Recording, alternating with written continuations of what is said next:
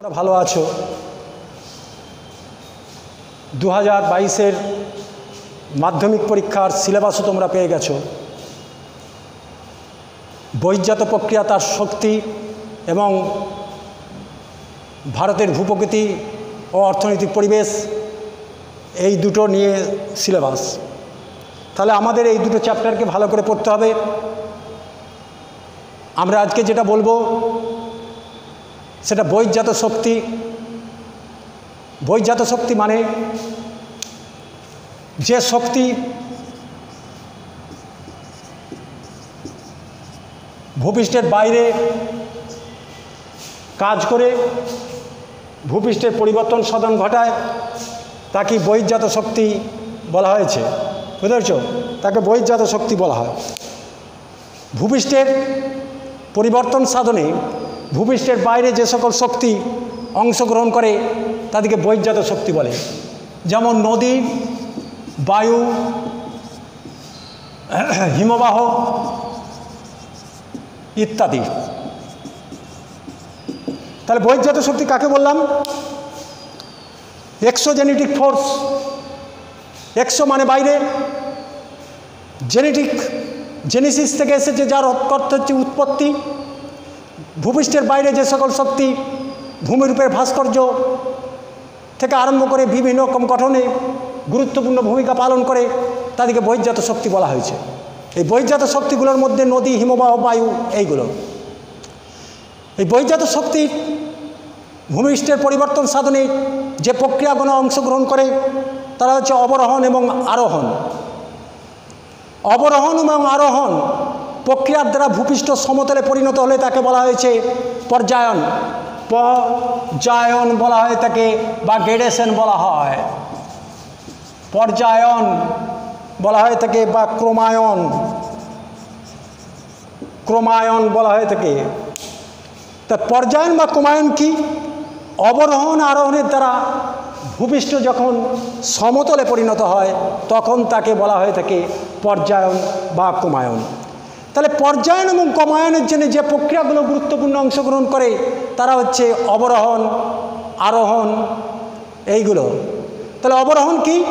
না ভূপৃষ্ঠের বাইরের শক্তিগুলো দ্বারা যখন উচ্চ ভূমি ক্ষয়প্রাপ্ত হয়ে নিচু হয়, যখন এরকম উঁচু ভূমিটা ক্ষয়প্রাপ্ত হয়ে, ধরো সাপোজ এরকম নিচু হয়ে গেল, এরকম নিচু হলো, তাহলে এইটা ক্ষয়প্রাপ্ত হতে হতে এরকম নিচু হয়ে যাচ্ছে। তাহলে এটাকে বলা হয়েছে কি বলতো? অবরোহণ। অবরোহণ। আর এই ক্ষয়জাত পদার্থ যখন নিচু জায়গায় জমে গিয়ে, এই ক্ষয়জাত পদার্থগুলো যখন নিচু জায়গায় জমে গিয়ে ভরাট হয়, তখন তাকে বলা হয়েছে আরোহণ। পর্যায়ন, তাহলে আলটিমেট অবরোহণ এবং আরোহণ প্রক্রিয়ার দ্বারা হয়ে থাকে। এই অবরোহণ এবং আরোহণের ফলে অর্থাৎ ভূপৃষ্ঠের বাইরের শক্তিগুলো দীর্ঘ সময় ধরে ভূপৃষ্ঠের উপর কাজ করে, উচ্চ ভূমিকে ক্ষয়প্রাপ্ত করে নিচু নিচু ভূমিকে ক্ষয়প্রাপ্ত করে উঁচু, দুটো যখন সমতলে পরিণত হয়, তখন তাকে বলা হয়েছে পর্যায়ন বা কোমায়ন তাহলে উচ্চভূমি ক্ষয়প্রাপ্ত হয়ে নিচু হওয়াটাকে বলা হয়েছে অবরোহণ।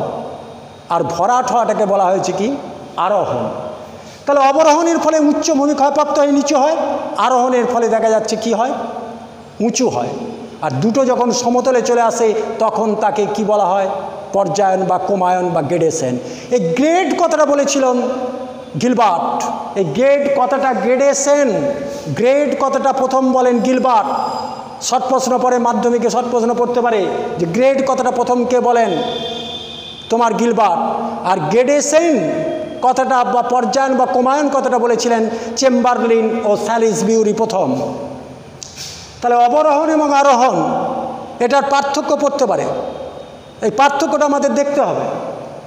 তাহলে পর্যায়ন বা কোমায়ন, তোমার যে প্রক্রিয়া দুটোর মাধ্যমে হচ্ছে, তারা হলো অবরোহণ এবং আরোহণ। এই অবরোহণ প্রক্রিয়া আবার বিভিন্ন প্রক্রিয়ার দ্বারা হয়ে থাকে।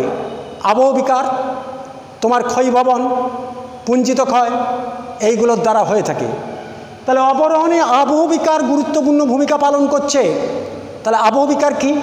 না আবহাওয়ার উপাদানগুলোর দ্বারা যখন শিলা ভেঙে চূর্ণ বিচূর্ণ হচ্ছে, এটা ধরো একটা শিলা, এটা এরকম ভাঙছে, ভেঙে এরকম চূর্ণ বিচূর্ণ হচ্ছে, হয়ে যখন সেই জায়গাতেই পড়ে থাকছে, তখন তাকে বলা হয়েছে আবহ বিকার। আবহ বিকার। বিকার মানে চূর্ণ বিচূর্ণ হওয়া, আবহ বিকার বা বিচূর্ণী ভবন বা ওয়েদারিং। ওয়েদারিং, ওয়েদার থেকে এসেছে। ওয়েদার ওয়েদার মানে আবহাওয়া। তাহলে আবহাওয়া বলতে কি বুঝি? কোনো একটা নির্দিষ্ট সময়ে বায়ুমণ্ডলের কতকগুলো উপাদানের প্রকৃতিগত অবস্থাকে বোঝায়। তাহলে সেই উপাদানগুলো কোনগুলো? বায়ুর চাপ, বায়ুর আর্দ্রতা, মেঘাচ্ছন্নতা, বৃষ্টিপাত সূর্যগ্রহণ এইগুলো। এইগুলোর দ্বারা শিলা যখন ভেঙে চূর্ণ বিচ্ছিন্ন হয়ে সেই জায়গায় পড়ে থাকবে, তখন তাকে আবহবিকার বলা হবে। আর এইটার সঙ্গে যখন অপসারণ যুক্ত হবে, অপসারণ ট্রান্সপোর্টেশন, তখন তাকে বলা হবে ক্ষয়ী ভবন ক্ষয়ী ভবন। তাহলে আবহবিকার ক্ষয়ী ভবন। তাহলে আবহবিকার প্লাস অপসরণ সমান হচ্ছে ক্ষয়ী ভবন। পুঞ্জিত ক্ষয়, যখন উচ্চ পার্বত্য অঞ্চল থেকে আবহবিকার জাত শিলাচূর্ণগুলো দেখা যাচ্ছে পিণ্ড বা তালের আকারে অন্য কোনো শক্তির সাহায্য ছাড়াই মাধ্যাকর্ষণ শক্তির টানে নিচের দিকে গড়িয়ে জমা হবে, জমা হতে থাকবে, তখন তাকে পুঞ্জিত ক্ষয় বলা হবে। পুঞ্জিত ক্ষয় বলা হচ্ছে। এই আবহবিকার ক্ষয়ী ভবন, পুঞ্জিত ক্ষয়, এদের সম্মিলিত রূপ হচ্ছে তোমার অবরোহণ। অবরোহণ প্রক্রিয়াকে নগ্নিভবন প্রক্রিয়া বলা হয়ে থাকে। তার কারণ, অবরোহণ প্রক্রিয়ায় ভূপৃষ্ঠের ওপর অংশ ক্ষয়প্রাপ্ত হয়ে অন্যত্র চলে যায়। তার ফলে নিচের শিলাস্তর উন্মুক্ত হয়। নগ্নিভবন প্রক্রিয়াতেও দেখা যাচ্ছে, ওপরের শিলাস্তর উৎপাটিত হয়ে নিচের দিকে বা অন্য দিকে চলে যায়। তার ফলে নিচের শিলাস্তর উন্মুক্ত হয়, তাকে নগ্নিভবন বলা হয়।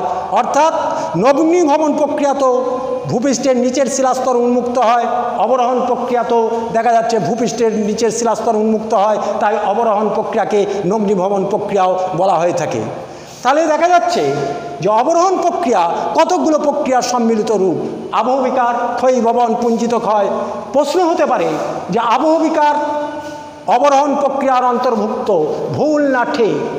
তাহলে আবহবিকার অবরোহণ প্রক্রিয়ার অন্তর্ভুক্ত, এটা ঠিক আছে। ক্ষয়ীভবন অবরোহণ প্রক্রিয়ার অন্তর্ভুক্ত, এটা ঠিক আছে। পুঞ্জিত ক্ষয় অবরোহণ প্রক্রিয়ার অন্তর্ভুক্ত, এটা ঠিক আছে। নগ্নিভবন প্রক্রিয়া বলা হয় ড্যাশ প্রক্রিয়াকে, অবরোহণ প্রক্রিয়াকে। তাহলে এই কথাগুলো আমাদেরকে কিন্তু জানতে হবে। নদীর ক্ষয়চক্রের শেষ সীমা, নদীর ক্ষয়ের শেষ সীমা হচ্ছে সমুদ্র সমতল। ক্ষয়সীমার ধারণা প্রবর্তন করেন পাওয়েল। পাওয়েল ক্ষয়সীমার ধারণা প্রবর্তন করেন ড্যাশ না পাওয়েল। তাহলে বহির্জাত শক্তির সম্পর্কে বহির্জাত শক্তি বলতে নদী, বায়ু, হিমবাহ। বহির্জাত শক্তির মূল উৎস হচ্ছে কি? তাহলে সূর্য। বহির্জাত শক্তির মূল উৎস সূর্য। বহির্জাত শক্তিগুলোর মধ্যে প্রধান কোনটা? না, নদী। বহির্জাত শক্তির মধ্যে প্রধান হচ্ছে নদী। বহির্জাত শক্তির বৈশিষ্ট্য কি? না বহির্জাত শক্তি অত্যন্ত ধীর পদ্ধতিতে ভূমিরূপের পরিবর্তন ঘটায়। বহির্জাত শক্তির ফলে ভূমিষ্ঠ সমতলে পরিণত হতে পারে বা বিভিন্ন ভূমিরূপ গঠিত হয়, তাহলে বহির্জাত শক্তির এইগুলো হচ্ছে তোমার বৈশিষ্ট্য। বুঝতে তাহলে বই